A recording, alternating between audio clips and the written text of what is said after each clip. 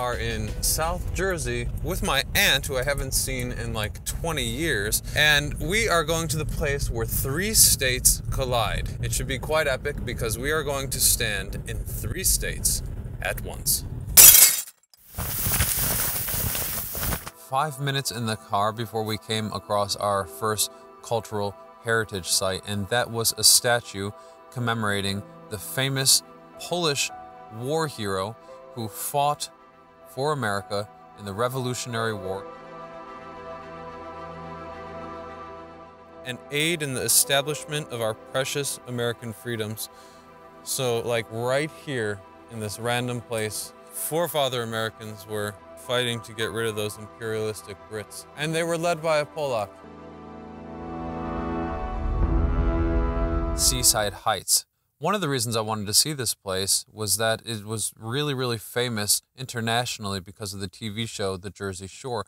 And yeah, that sounds pretty silly, but all the same, in our time, it was a really, really important place for the culture of New Jersey. We saw the house, and in my opinion, it was a letdown. It was just a kind of nasty looking, used up, rotty looking house on the shore. The location was cool, but uh, it really made me think about the magic and uh, elaboration of TV. So after we saw the Jersey Shore house, we went on the boardwalk to my second point of visiting Seaside Heights. This was one of the places that was most destroyed by recent hurricanes, and they only just now rebuilt the boardwalk, started to rebuild roller coasters, but it was interesting to think that it's not a question of if this will be destroyed once again, it's a question of when this will be destroyed once again.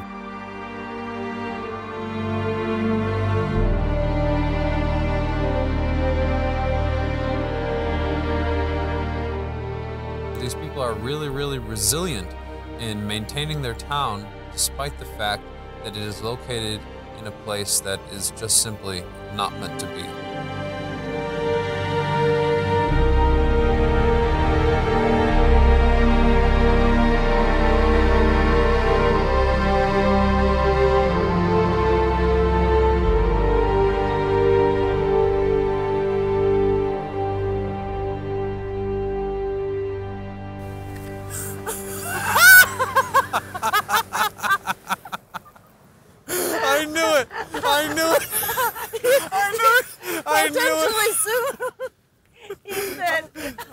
I knew it! I was waiting. He can get fucked potentially Yeah. soon. It was, it was, oh, oh. was good. That's funny because we're freezing our asses off. And there's some dude out there surfing. oh my god. I couldn't imagine how cold his hands and face and any exposed skin must have been, so respect to you, man.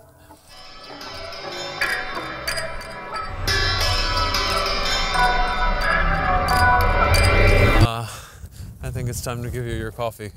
And a donut, maybe. You can have two donuts or five. What?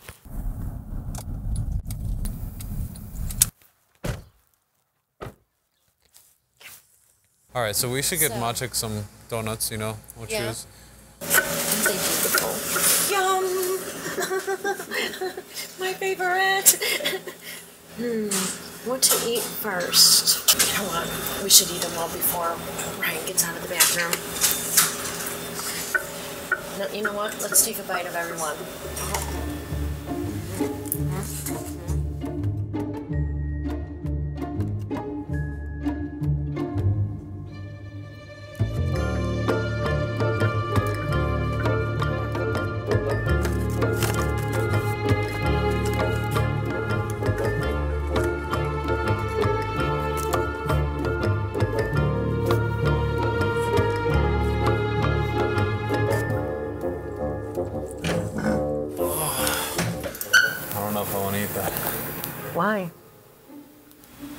Full of preservatives and stuff. Oh, I knew you were gonna say that. You knew I was gonna say that. Uh-huh.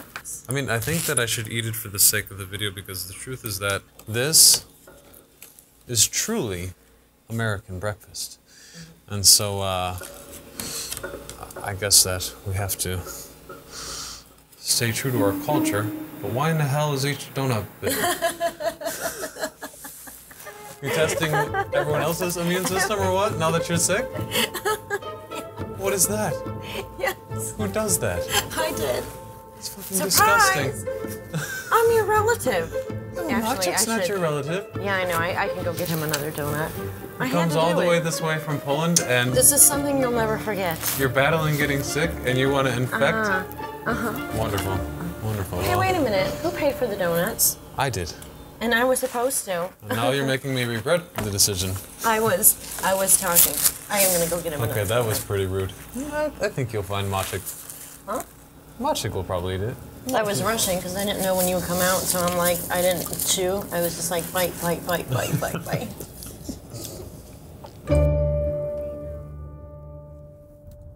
So in the 2000s, uh, the Jersey Shore was known for the TV show The Jersey Shore.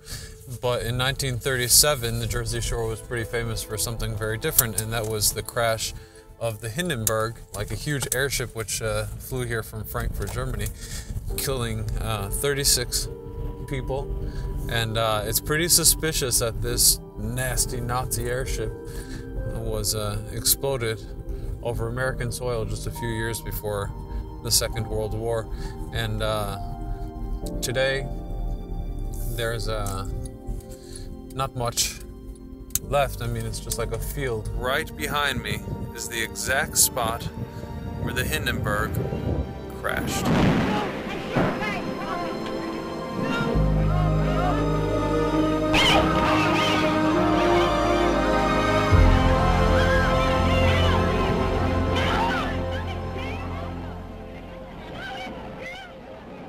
We've been uh, to a donut shop. We've been to the house of the Jersey Shore. You spilled your coffee all over yourself. And so now I think it's time for a little bit of sophistication.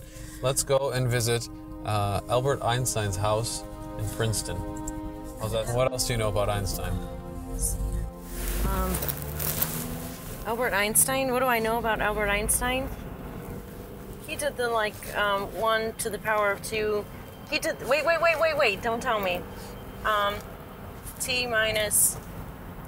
It's like three letters or numbers, right? I think it's E equals MC squared. Yes, thank Ah, you. yeah, That's it. That's right. Right. Now, if we could only figure out what the hell that meant. Do you know? No. Neither do I. Well, maybe we'll find out at his house. Yeah. So we went on uh, further on the way to uh, Princeton. There are two school buses there, and if you're on that bus, the other Why? kids think that you're uh, stupid, retarded, um, might have a behavior problem. And uh, I actually went to the small class. I didn't ride the small bus, but there was one morning that I did, and it was like a low point of my Of your school experience. When you're misbehaving on a school bus, I had been there once before by mistake, but I never realized how beautiful it was. This is a place totally deserving of a world class scientist like Albert Einstein. Just think about this right now. Like, Princeton is back there. He's coming home from a day at the lab, day writing, day doing whatever scientists do. Not even discovering his discovery yet, possibly. Yeah. And he just strolled home, getting creative ideas. I mean, like, With his messy hair. with his crazy goddamn hair. And this is this was his spot. You know, maybe he had a cold here and was sick. And look at how humble he was. He didn't want this to be a museum. That's a legend.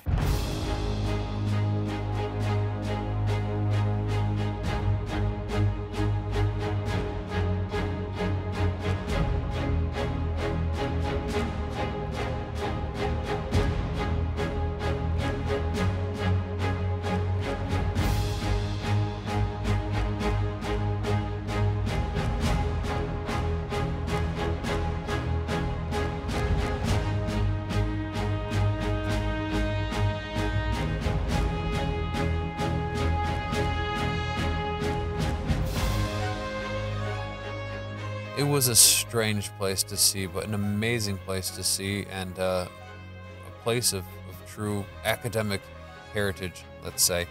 Uh, the type of academic heritage that being in Princeton, you realize a guy like me isn't even really quite worthy of. So I really appreciated that.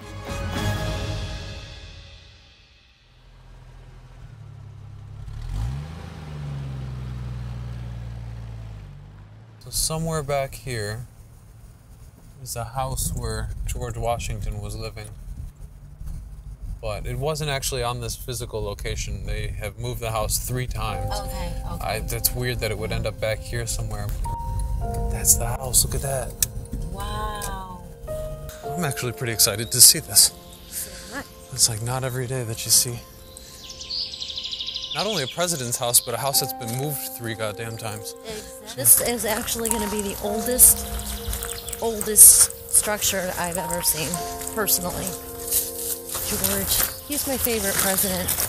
Lincoln's my favorite president. Very simple, but they had vision. That's for sure. I don't think that what America is now is exactly what they envisioned. To think of the first president of the United States be there, have touched the railings, you know, walked on the porch. His eyes looked at the same house that my eyes looked at. Beautiful. Very wide floors. Wow. Very wide. My aunt actually works in an antique shop, so this is like really Yeah. her it's thing. Amazing. Colors right too. nobody, George? nobody home. George, in there? He's like, I'm busy with presidential stuff. And it's kind of crazy to think that when he was in here, this was his headquarters. Right. You know, America was like, it wasn't even what we know today.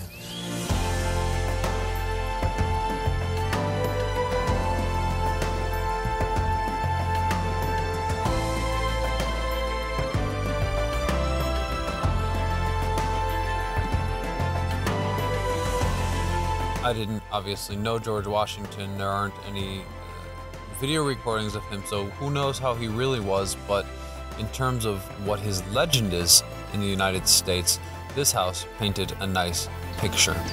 We couldn't get a tour of the house because they didn't allow photography, unfortunately. So we decided to leave, and I challenged my aunt to a race. I said that if she beat me to the car, I'd buy her some Starbucks.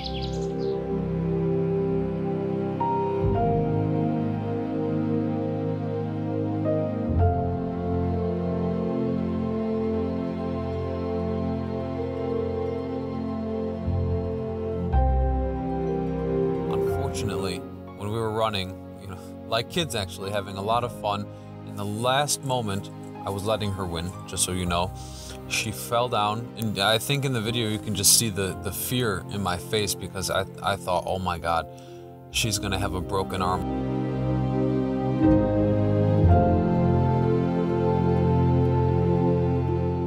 I lost the race for the stupid Starbucks coffee, and I really think I broke my wrist. So we were on the road, we had our tea and coffee, and my aunt decided she wanted to learn Polish. Oh, okay. Cześć, mam na imię. Uh-huh. Chrissy Socash. Cześć, mam na imię Christy she's like, you know what, Ryan? I'm gonna learn Polish, and you know, I'm gonna be fluent. You'll see. I'm gonna learn. We're going to start today. Jak masz is what? Uh huh. Jak masz? Jak masz is means what? Yeah. So yak is actually means how. Also, I could say Jak masz na imię, Uh which is just your name. Yeah. Oh, okay. I think once she figures out how hard Polish is, she might not follow through with that plan.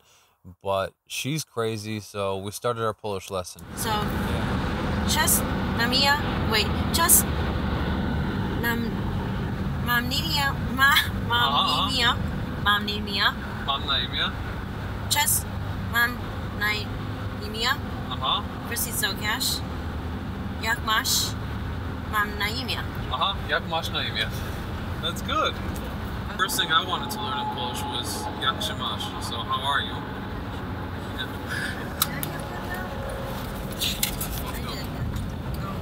Because oh, we're talking about this. To keep me from falling asleep behind the wheel, we saw like four state troopers zoom past us to some emergency, and that was pretty crazy. I, I initially thought that they were like gonna stop me, so I thought, God damn it. It's the last thing I need. Pay some state trooper ticket, you know. I think before we get to the three states at once, it would be worth showing our viewers what an American police cruiser looks like. They've got a spotlight here, sirens, there's a computer inside, there's also a pretty serious gun in there, look at that. And I can also tell you from experience that you don't want to be stopped because uh, with American police, they do not joke around. Also, I noticed that there's a, a camera in the squad car, so they record all the interactions. So when we were nearing our destination, when we were almost there, I mean, the, the prize was in our sight, we saw this tall monument. It looked similar to the one in uh, Washington, D.C. We went up this hill, it started snowing, it was blowing wind. What a creepy looking monument that is. I wonder. I wonder what it stands for. I don't know. We're gonna find out. This is crazy. What is this monument about?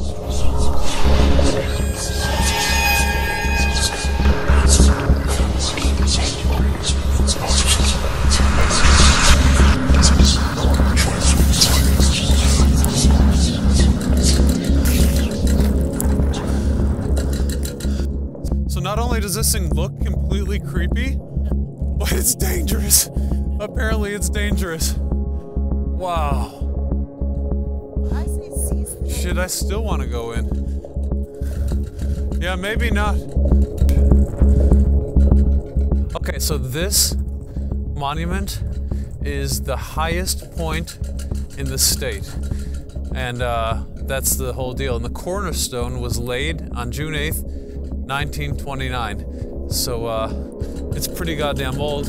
And apparently, it's pretty broken because something's wrong with the foundation, which makes me think that maybe we should get the hell away from this creepy looking dangerous monument. So the really cool thing about being up at that monument is that we could literally see the place we needed to go. So we're standing in New Jersey. Down there is Port Jervis, and that is where the Tri-Point border is, right on that river. That's where we want to be. Behind me is Pennsylvania, and up there is New York. So I think it's time to finally go and get the spoils. So we got in the car, we drove the final three miles, and we were ready to do what we set out to do. As a strange twist of faith in Kult America style, we have to walk through a freaking cemetery to get there. Let's go see this spot.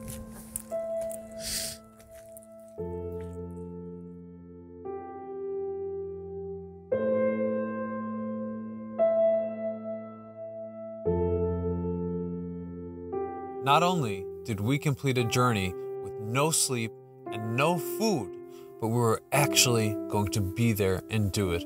With my aunt in my arms, we walked through the cemetery joyfully and discovered the place where these states collided.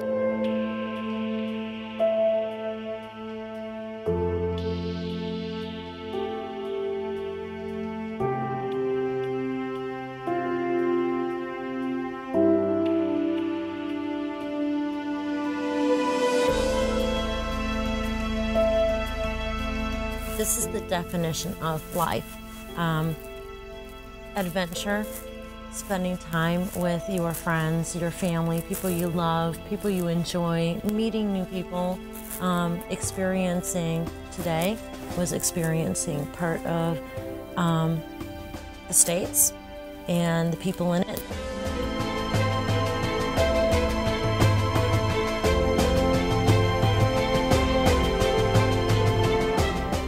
It made me feel small but big because you think of three different states and you know the people in it, the history in every state.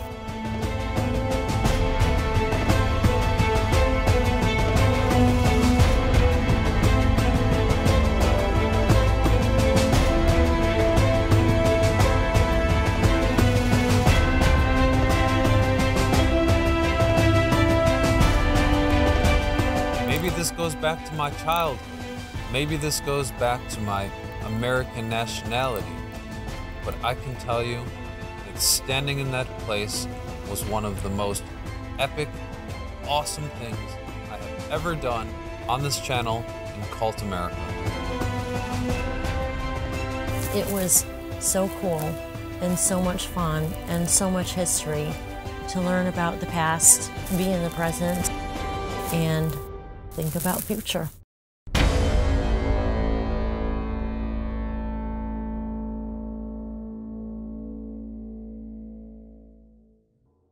I didn't expect to like this so much. I've been to many Tri Points at this point, and I have to say this one is excellent. These lines in the sand define so much of what makes American culture rich and special. Giving you a little perspective, standing in the state of New York as I am now, I know that Brooklyn is bustling with Hasidic Jews. If I take a step over here, without falling in the river, I am in Pennsylvania, a land of farms, beautiful mountains, and Amish people tending their fields. I move over to New Jersey and I find the sweet state that has so much of my own family's legacy. Not to mention, it hosted the TV character Tony Soprano. I hope you guys enjoyed this episode of Kult America. Give the video a thumbs up if you want us to do more three states in one or three countries in one. And with that being said, I think I'm going to stand in three states at once and take in the greatness. My name is Ryan Socash. Thank you so much for watching Kult America.